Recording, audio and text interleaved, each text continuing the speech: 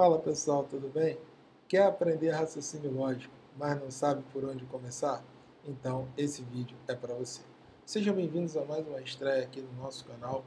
Para quem não me conhece, sou o professor Marcão e junto com o professor Renato Oliveira, através do método MPP, ajudamos nossos alunos a transformar sonhos em realidade. E nesse vídeo de hoje, ó, energia lá em cima, ó, lindão. Ó. RLM para concursos. Descubra por que você não aprende. Repete aí na sua casa. Para cima deles e não deixe o inimigo agir. Ó, juntos conseguiremos essa vaga. Eu tenho certeza disso. Pessoal, antes de começarmos aí a nossa aula, baixe o material da aula e inscreva-se em nosso canal. E ative, pessoal, não pode esquecer disso, né? E ative as notificações, o famoso sininho.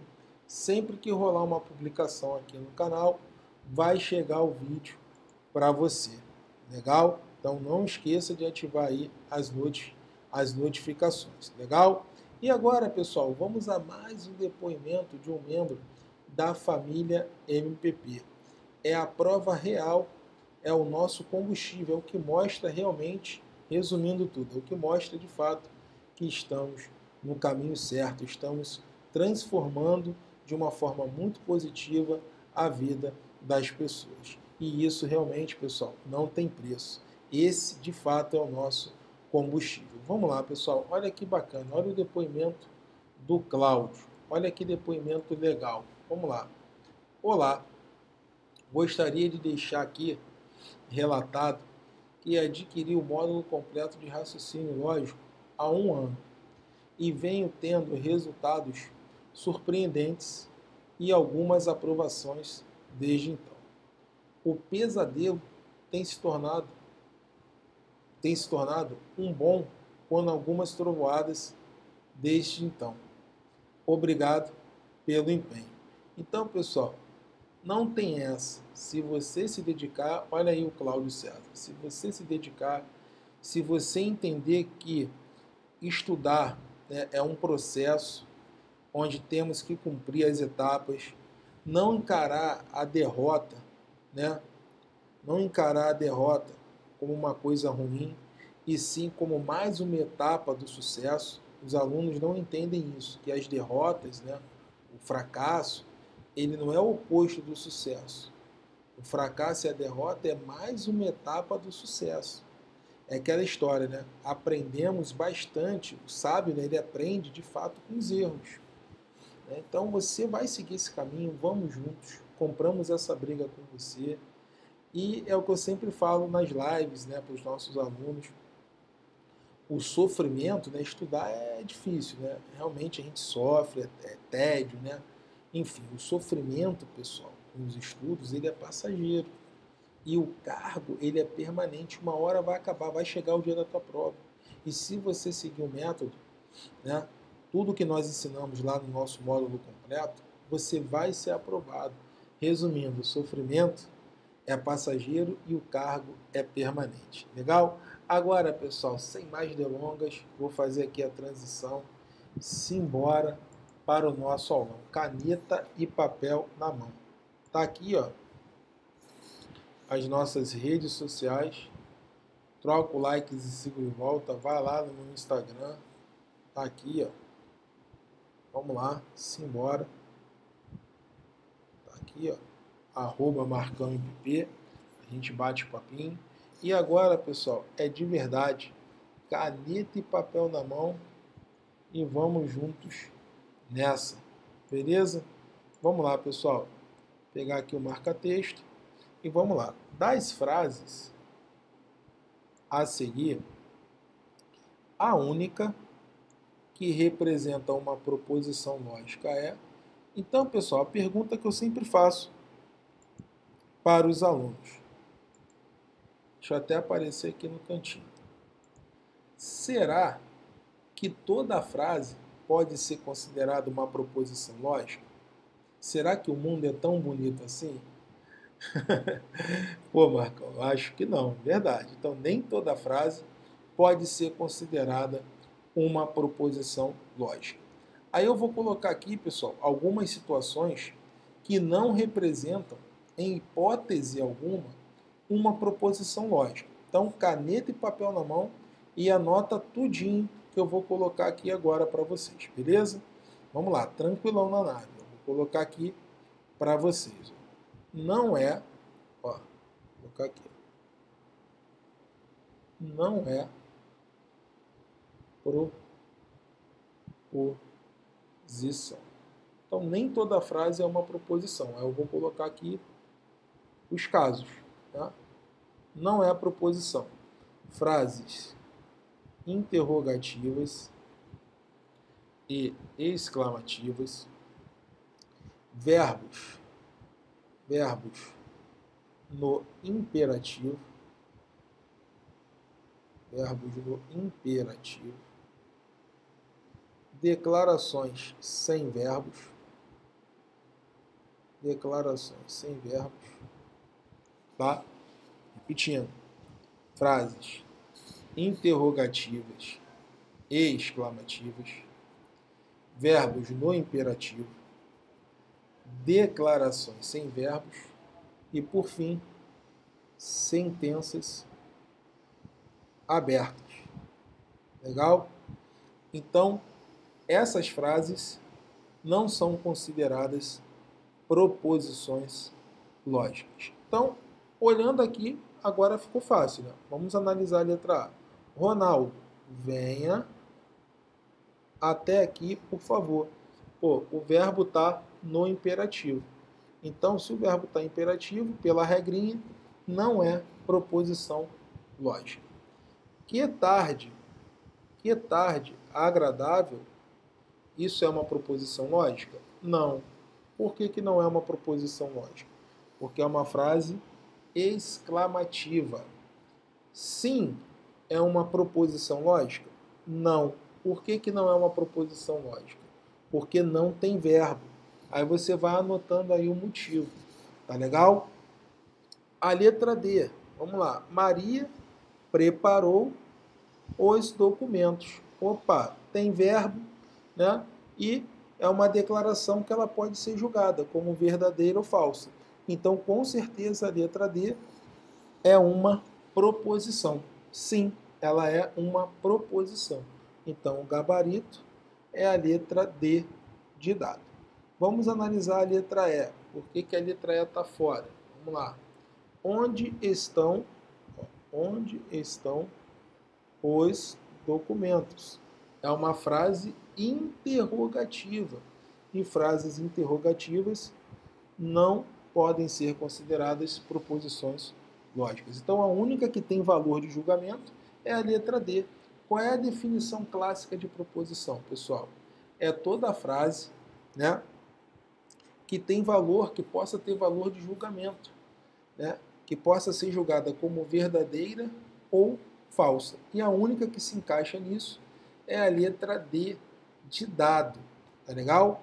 É toda declaração afirmativa ou negativa de sentido completo, né? A qual podemos atribuir apenas um valor lógico, ou verdadeiro ou falso. Tá?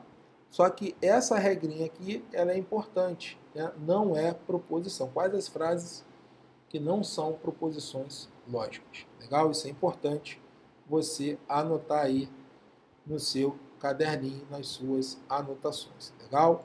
Passamos agora para a próxima questão. Vamos lá. Próxima questão, pessoal, é um assunto da lógica que cai bastante em concurso. É a lógica de argumentação. Olha aí, ele te dá uma sequência de afirmações e no final ele pede a conclusão. A partir dessas informações, pode-se concluir corretamente que. Então, pessoal, qual é a receitinha de bolo aqui? Né? Tem uma regrinha. Vamos considerar que todas as afirmações, todas as informações, elas são verdadeiras. Beleza? Todas as informações, elas são verdadeiras. Tem um cara fazendo uma obra aqui, meu Deus do céu, inimigo agindo, mas vamos lá. vamos lá. Vamos que vamos. Maria não descansa. Isso é verdadeiro. Aí eu vou associando. Maria descansa, falso. Pessoal, qual é o operador lógico que está aqui? É o C, então. Molezinha. Repete aí na sua casa. Eu vou até aparecer aqui. Ó. Vamos lá. C, então. Repete na sua casa. Falso só vai para trás e verdadeiro só vai para frente. Como é que vai funcionar isso na condicional? Se a segunda for falsa, você vai lembrar, o falso só vai para trás. Então a primeira também tem que ser falsa. Ah, Marcão, então se a primeira for verdadeira, verdadeiro só vai para frente. Então a segunda tem que ser verdadeira. É exatamente isso. Falso só vai para trás e verdadeiro só vai para frente. Legal? Aí vamos lá. Vamos finalizar aqui a questão. Ó, falso só vai para trás. Então, se a segunda é falsa, a primeira tem que ser falsa. Falso só vai para trás. Aí eu vou remando aqui. Ó. Manuel não chega correndo. Isso é falso. Manuel chega correndo, verdadeiro. Opa, o que, que diz o macetezinho? Para dar verdade no argumento, verdadeiro só vai para frente. Então, se a primeira é verdadeira, a segunda tem que ser verdadeira. Aí você ganha tempo na prova. Júlia não grita. Isso é verdadeiro. Júlia grita é falso. Só que agora é o ou ou que está na parada. No ou ou, na disjunção exclusiva, para dar verdade, os valores são diferentes, tem que ser diferentes. Então, se a segunda é falsa, para ser diferente, a primeira tem que ser verdadeira. Tá aí. Fiz a análise do meu argumento, agora eu vou encontrar a conclusão. Vamos lá. Letra A. Manuel chega correndo? Aí eu vou olhar aqui no argumento. Ó, isso é verdadeiro, tá aqui. Ó. Isso é verdadeiro. Manuel chega correndo. E Júlia grita. Isso é falso. Júlia grita é falso. No E, se um é falso, já garante que o resultado é falso, porque só dá verdadeiro se tudo for verdadeiro. Tudo lindo? Simbora aí para a próxima questão. Maria descansa. Maria descansa está aqui, ó. É falso. O resultado é uma consequência, né, do argumento. Letra C. Carlos não fica nervoso. Ó, Carlos fica nervoso é verdadeiro. Então, Carlos não fica nervoso é falso. No E, se um é falso, já garante que o resultado é falso nem troque ideia. A letra D, Carlos fica nervoso? Isso é verdadeiro. Então, o nosso gabarito, com certeza, é a letra D de Deus. Agora, vamos analisar a letra E. A letra E é o então. Vamos lá. Manuel não fica nervoso? Eu vou olhar aqui. Manuel não fica nervoso extrapolou o argumento. Não tem essa informação no argumento. É isso? Então isso aqui é duvidoso. Não tem como eu saber né, se é verdadeiro ou falso. Marina grita. Marina grita. Também não tem como saber essa informação. Extrapolou. Né? A palavra gritar ela está associada a Júlia. Então, pessoal, esse resultado aqui é duvidoso. Não tem como saber. Então, ratificando, a resposta é a letra D de dado. Perfeito? Vamos lá, simbora para a próxima questãozinha. É o inimigo tentando agir aqui, mas vamos lá. A negação da afirmação condicional é. Então, qual é a jogada aqui, pessoal? Vamos lá, ele quer a negação do sem então, não é isso? O que, que diz a regrinha para negar o sem então, pessoal? A, neguinha, a regrinha para negar o centão é o mané. É o mané. Mantém a primeira, nega a segunda.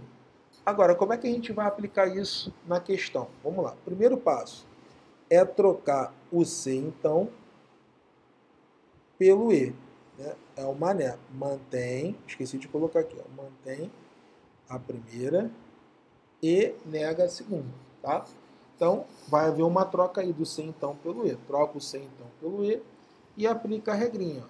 Mantém a primeira e nega a segunda. É só aplicar. Ó. Mantém a primeira. Então vai ficar Carlos não foi bem no exame. E nega a segunda. Vai ficar em casa, negando, não vai ficar em casa. Então, lendo agora a negação. Carlos não foi bem no exame e não vai ficar em casa. Olhando aí, pessoal, as opções, qual é o gabarito aí correto? É a letra D, né? D de dado. Olha aí. Carlos não foi bem no exame e não vai ficar em casa. Legal? Mais uma letra D aí para conta. É uma regrinha que você tem que memorizar. Simbora, embora o choro e vamos que vamos rumo à aprovação. Legal? Tá dando para ficar aqui no cantinho. Então, simbora. Deixa eu até ver se cortou a questão anterior na hora que eu fiz a análise aqui da questão anterior, não, não cortou não. Ficou de boa. Para cima deles. Está tudo lindo? Coloca aí no bate-papo para mim. Coloca aí, pessoal. Tá tudo lindo? Essa daqui dá para ficar também no cantinho. Vou ficar aqui no cantinho para gente resolver a próxima. Vamos lá. Uma afirmação logicamente equivalente à afirmação, cuidado, para você não confundir a negação com a equivalência. A equivalência do ou, pessoal, né, é o Neymar, é a regrinha do Neymar. Como é que vai funcionar aqui a regrinha do Neymar? Equivalência do ou é o Neymar. É o Neymar. Nega a primeira, mantém a segunda. Né? Nega a primeira, mantém a segunda. Mas aí, pessoal, vamos trocar o ou pelo se então. O primeiro passo agora é trocar o ou pelo se então. Primeiro passo para a regra da equivalência do ou é trocar o ou pelo se então. Feita essa troca, você vai botar o Neymar para jogar. Ó, vai negar a primeira e vai manter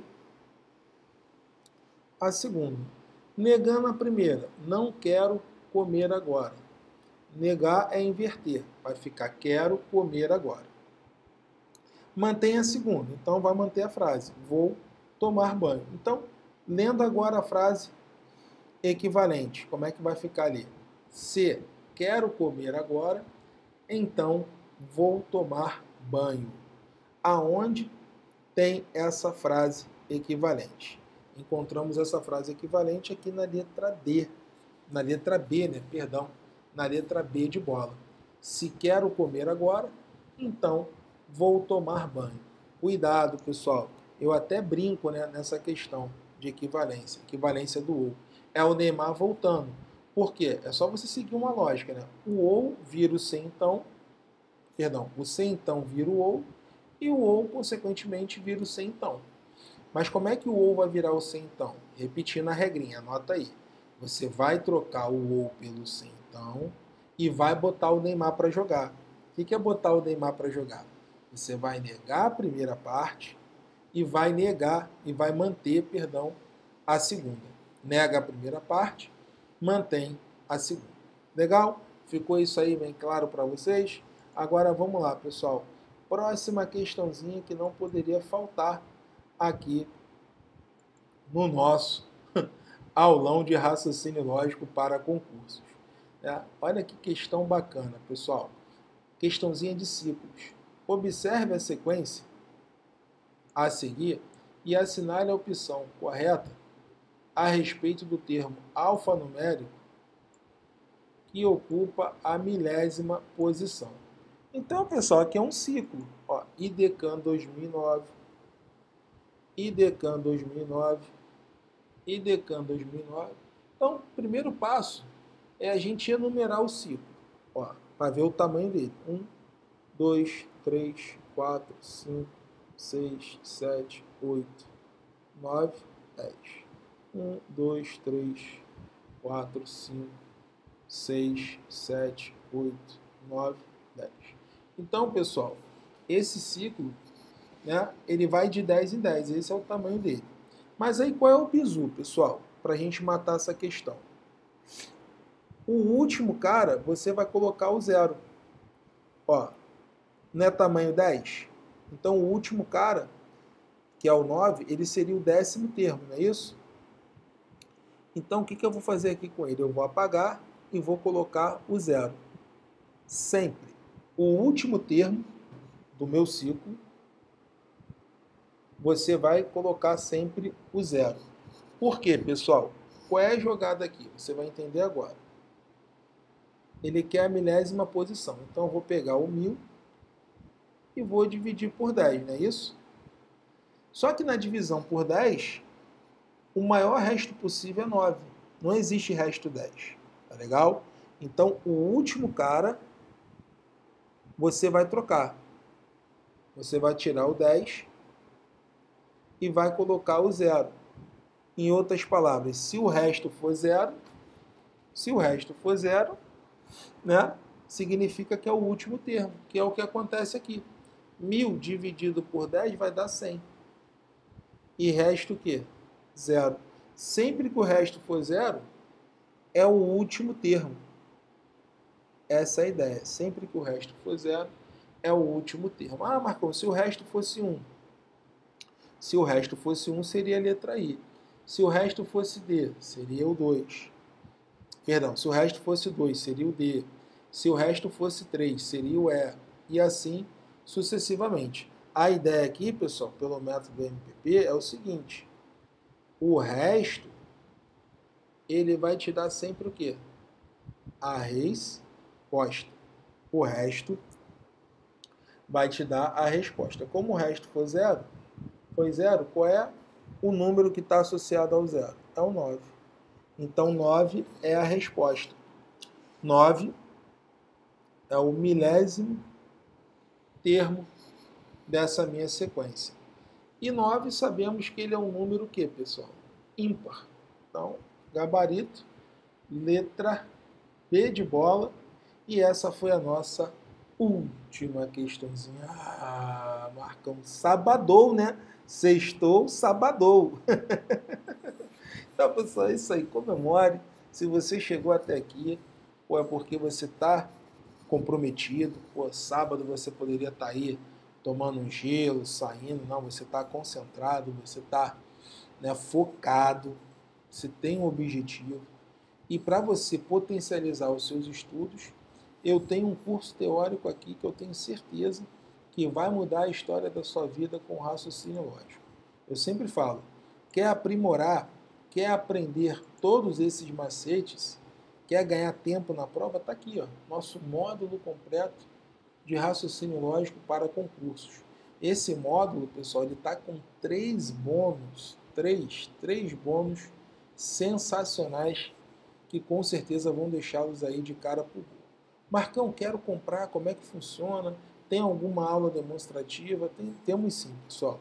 Na descrição do vídeo colocamos o link do curso. É só você clicar no link do curso que você vai para a página, né? E lá você tem, na página do curso, você tem uma aula demonstrativa e todas as informações sobre o curso. Né? Falamos dos três bônus, falamos o que nós oferecemos, enfim, damos uma explicação bem sucinta do que é o nosso módulo completo de raciocínio lógico. Claro, né, colocamos também outros depoimentos para você entender como o método MPP, como matemática para passar impacta na vida das pessoas. E com você não vai ser diferente. Toma uma atitude, tenha foco, porque, pessoal, esse investimento ele vai mudar a história da sua vida.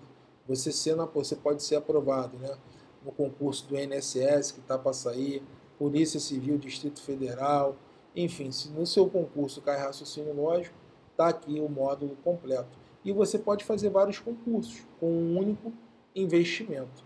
Legal? Então, tá aqui na descrição do vídeo, é só você clicar. Qualquer dúvida que você tenha, entre em contato com a gente. através das nossas redes sociais, Facebook Instagram, ou através do nosso WhatsApp. Né? Hoje em dia é tudo pelo WhatsApp. Também temos, está aqui na descrição do vídeo. Legal? Espero você lá no curso, hein? Dá uma olhadinha, eu tenho certeza que você vai comprar esse curso porque ele está sensacional. Agora, pessoal, vamos lá a mais uma mensagem aí para finalizarmos mais um aulão. Trabalhar sério, com fé e dedicação, pode fazer você vencer todos os obstáculos e conseguir o que quer. Então, pessoal, tenha foco, tenha disciplina, tenha determinação. Trabalhar sério, com fé e dedicação, pode fazer você vencer todos os obstáculos e conseguir o que você quer. Essa é a mensagem. Trabalhe sério, né? Trabalhe duro, porque o resultado ele vem, pessoal. O sofrimento é passageiro e o cargo é permanente. Matemática é o que, pessoal? Para passar. Um forte abraço.